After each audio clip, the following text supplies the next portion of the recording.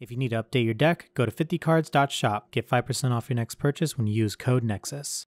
Hey everybody, welcome back to Nexus Corps. I'm Richard and today we're going over Premium Gurguit with the uh, new support from the new Premium Collection 2022. Isidris kind of gives off the same uh, vibe as Gurguit, just with that uh, whole rearguards placed by card abilities gaining power. I decided to give my Premium Gurguit deck a little bit of an upgrade using uh, units based on Isidris's ability. So just kind of gonna go over uh, what the deck looks like right now. Starting off with our starter, our Knight of Early Dawn Coel, which is, according to some players, not the optimal starter just because it gives away that you're not playing Ezel. But to that I say, I don't need my opponent to know that I'm playing Ezel. All I need them to know is that I'm still gonna win regardless. Also, Kirf doesn't come SP, so we're running Coel. Alright, now we're going into our grade 3s. Starting off, we got four copies of Sunrise Ray Knight Gurguit. So Gurguit's skill is when a unit's called by a card ability, if your opponent's at grade 3, that unit called and this unit get 5 have 5k for every marker you have. The more markers you acquire, the stronger the units are going to be. The second skill is when it attacks or when it is attacked, you counterblast one. Look at top 5, you call them to rearguard. You call two things rearguard circle. If it's being attacked, you call two things to guardian circle. So it's got a great defensive ability for premium, which is helpful. You only use it once per turn, but it's still overall really good because you can call perfect guards from your deck to the guardian circle and kind of get past those guard restrict. Or if it's just like a really, really big number, like somewhere in the 70 or 80k, you can just counterblast one, top four, get a PG. So Gurguit's great. Know what else is great at premium is being able to run four Percivals in your deck. Bluish Flame Liberator Percival. First skill, all your units on additional markers get 5k. This is on the van. Second skill, placed on van or rear. Counterblast 1, discard a card. Get an imaginary gift excel, search your deck or drop for Aglavale, call it, shuffle your deck if you searched your deck, and uh, you can only use the ability of this once per turn. This is just obviously really great because you can write it and get two markers. You can call it as a rear guard when you search it from the deck, and uh, it just helps you make your Gurguits bigger. Percival and Premium is just astoundingly good. So, love it. It's my favorite card in this game. Next up for grade 3 normal units, two Sagramors. Uh, I do the two just because it does help you call things by card abilities, which is nice, but I really don't feel like I need any more grade 3s to kind of help me pay cost for strides, and there's just other units I would rather run just to kind of make up for you know, abilities. Uh, the grade 2 lineup, the grade 1 lineup's kind of like I don't want to go any less. So the two Sagramor works just fine, and it's just a great rearguard skill. It's when it's placed on van a Rear from hand, Soul Blast 1, draw a card, then call something. Works really good with Isidris. Running it at the 2 is fine in premium. Grade 2s. Starting off with our three copies of Aglavale. Aglavale skills when it's placed on Van, counterblast one, look at top three, call something, rest go to bottom. On rearguard, when you swing with it, you suck up another rearguard into the soul. It gets 10k and you bounce it back to your hand at the end of the battle.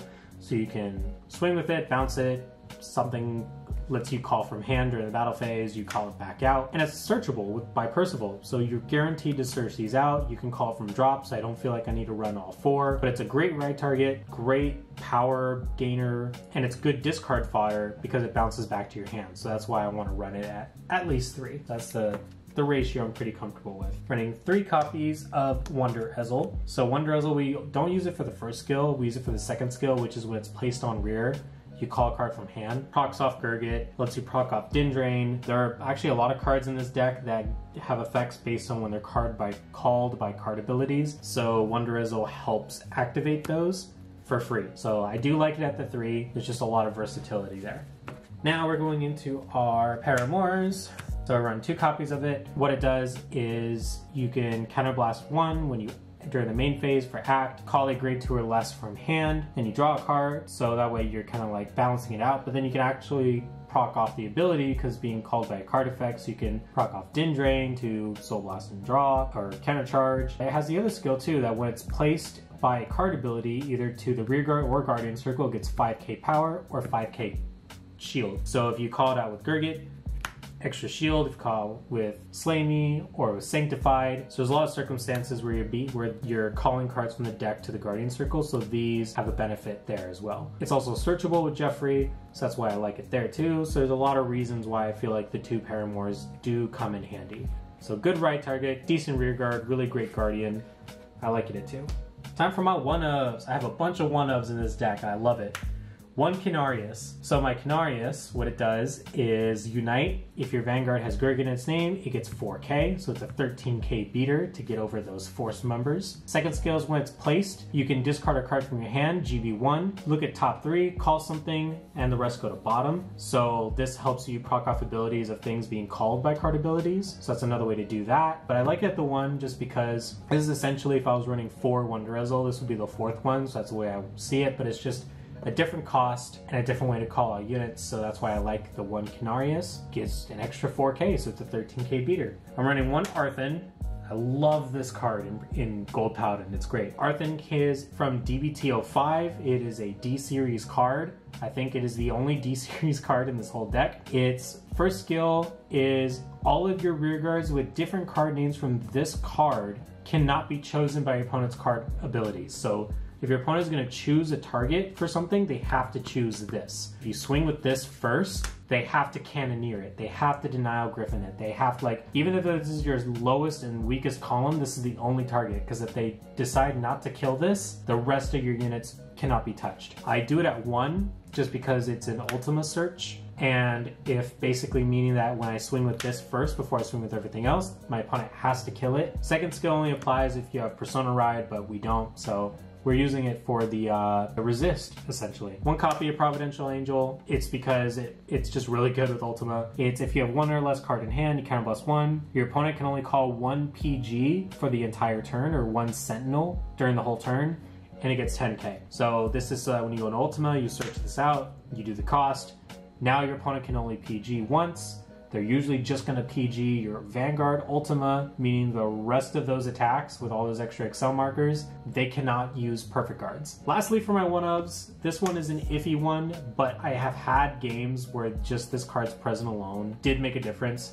If you don't feel like running this, you can just run like another Sagamore if you want, that's fine. What it does is it has effects based on how many you called. If you called two or more, your opponent cannot intercept. If you have four or more called, it gets 5k, so it's a 14k beater. But the main thing is because your opponent can't intercept, and that can make a really big deal if you're swinging at your opponent's Vanguard and they have a bunch of huge shield in hand and they don't want to waste it, they're gonna have, they can't intercept. So that can be a little helpful tech. There's just a lot of like effects going on in this deck.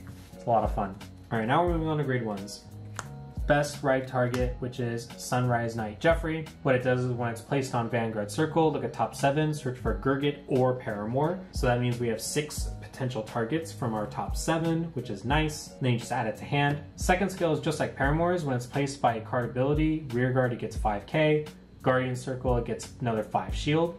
So it already has 10 shield, meaning that if it's called by uh, Slamy Flare or Sanctified Dragon, it becomes a 15k shield, which is really great because it's basically like a trigger. Because there is a lot of abilities in this deck that's being called by card abilities, I'm utilizing more of the Jeffrey and the Paramore skills. So I'm really liking how that's working out in this deck.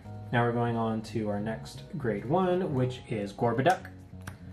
So Gorboduc is our grade 3 searcher. You ride or call it, you look at top 5. Well, it has to be called from hand. Look at top 5, look for a grade 3 at a hand. Um, we have grade 3 heal triggers. We want to ride Gurguit. We want to search Percival. Sagamore is a great target. So all of our grade 3s in this deck are amazing searches. So this will always be a helpful card when you get the search. And also its 5k ability is really easy. It's just you have to call two things. So you're pretty much always going to get that extra 5k off Gorboduc, which is nice. Lastly, for our grade ones is a forever staple, pretty much, Forward End Drain. Uh, when it's called by a card ability, you Soul Blast 1, you can either draw or countercharge and gain 3k. You're going to use the countercharge a lot just because you want to guarantee Ultima, which is CB2 for cost, or you can draw cards if you have open counterblast. Maxing out the Dindrain lets you max out the resource. We're now moving on to trigger units.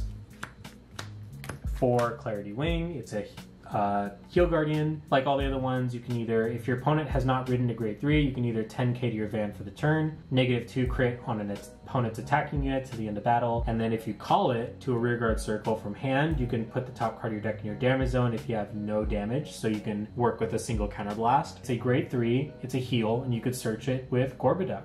So Clarity Wings are great. Moving on to our next set of triggers, we are, of course, running the four Halo Shield Mark PGs because not only is it just a draw trigger that is also a Sentinel PG, its skill allows it to be called from deck to the Guardian Circle.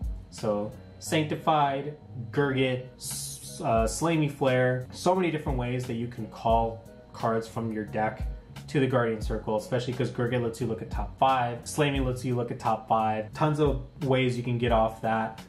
Mark is just a staple for Premium Gold Paladin. And because we are playing the Ultima game, our last triggers are our 8 crits, where our Premium crits, which both of these got reprinted. Gold Garnish is if you're going to pay costs for Stride, this becomes a grade 3. Theodora is when your Vanguard attacks, you can move this to Soul for GB1. Your Vanguard gets 10k and you gain a crit. No over trigger because of the Ultima over, over trigger choice restriction. Overall, just a really great trigger lineup. Now it is officially time for the fun stuff. Three copies of Gurguit Helios. Gurguit Helios, I'm running at three just because one's pretty much flip fodder, but um, you're pretty much only going to go into this once. You act, flip it when you're in Unite. Now you have quad drive, so it's just for the quad drive. Second skill is GB3. It gets 5k for each rear guard, and your opponent cannot call grade 1 or greater cards. So I would typically use this in the, I guess you could say, Luard matchup because I know that they run Ezra's PGs. So against certain decks where if I notice my opponent has grade 1 PGs, like if I'm playing against Night Rose or Beatrice, I guess would be the name of the deck, that would be an exception to like, oh, I know that they only only have they only have uh, grade one PGs. It's mostly there for the flip fodder and the quad drive, so Helix is always just like a good like you know standard G unit. Going to two copies of Brambit, which is usually my first stride I've noticed, just because in a lot of scenarios I, I like the multi-attack and I like the crit. So what it does is when it swings, you flip a G unit face up, put two your regards to the bottom of your deck. You draw two cards, then call up to two, meaning you can call none. If you called at least two, it gets a crit. You could literally just call two Dindrains and then Soul Blast two to draw two. Whoops. Brambit's just a really good card for like early game push. Next up, I decided I'm gonna go with two copies of Glorious Raining. I go back and forth between this and um, Heavenly Law Gurguit. So Glorious Raining is when it attacks, you counterblast one, flip a copy of itself face up, put two of your rearguards to the bottom of your deck, look at top seven, and from among those seven, you call equal to the number of face up units in your G zone. Then if you called at least three, three or more, soul charge and counter charge. So you get the counter blast back. And the soul does help because it helps you pay for cost for things like Sanctified Dragon. If you don't want to play the ultimate game, you want to play with over triggers, you could do Glorious Raining and Heavenly Law Gurguit. That's perfectly fine too. They both have their pros and cons. Next up, two copies of Isidris Continuous. All your rearguards placed by card abilities get 5k. When it attacks, you counterblast one, put all of your rested rearguards to the bottom of your deck, choose up to two cards from your hand and call them. And then if you put four or more cards to the bottom of your deck, you restand this with drive minus two. This card is very, very, very iffy, but I have won games with this card alone, so I can't say it's bad. I've only ever needed to use it once. I've never gone into it twice. That's kind of just